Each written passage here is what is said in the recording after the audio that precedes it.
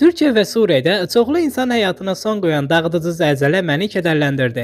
Ermənistan kömək etməyə hazırdır. Paşinyan öz Twitter səhifəsində yazıb. Həlak olanların ailələrinə dərin hüznlə başsağlığı verir və yaralananların tezliklə sağalmasını arzulayırıq mesajda deyilir.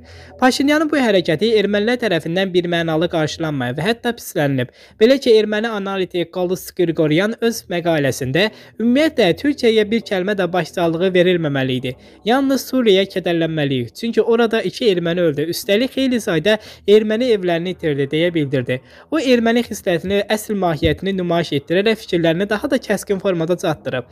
Türkiyədə erməni yoxdur, amma buna baxmayaraq Paşinyan bir növ erməni Willy Brandt obrazını canlandırmaq qərarına gəlib. Baxın, İran Türkiyədəki faciəyə qətiyyən reaksiya vermədi, amma Paşinyan başsağlığı vermək qərarına gəlib, bununla da məhdudlaşmayaraq kömək təklif edib. Kimə? Türkiyəyə. O həqiqətən papadan daha çox katolik olmağa qərar verib deyə Qriqoryan vurğulayıb. Budur erməni xisləti, budur Türkiyənin nifrət. Bu nifrət o qədər güclüdür ki, hətta ermənilər üçün yaşanan faciə belə heç bir əhəmiyyət kəsb etmir. Uşaq qatillərindən, Xocalı boyda faciəni türklərə yaşadanlardan bundan artıq heç nə gözləmək olmaz. Amma Qriqoryan çox böyük yanlışa yol verir. Türkiyədə ən azı 100 min erməni kökənli insan yaşayır.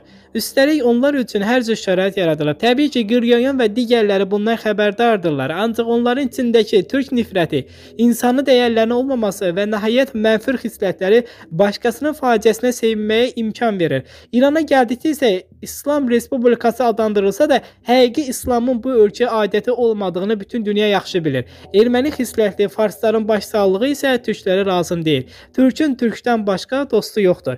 Ermənistanın heç kimə hətta simvolik yardım etmək imkanı belə yoxdur. Ölkəmizin özünün köməyə ehtiyacı var. Həm də bizə bir dəfəlik deyil, əbədi kömək lazımdır. Türkiyəyə isə kömək etmək istəyənlər çoxdur. Qətər, Avropa Birliyi ölkələri və digərləri buna hazırdır deyə erməni analitik bildirib.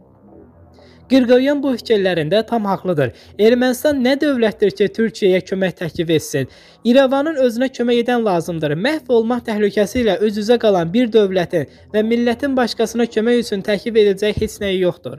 Amma Türkiyə bu vəziyyətdən də alın-açıq və üzə çıxacaq. Necə deyərlər, Türkün qolu bükülməz, Türkün beli əyilməz.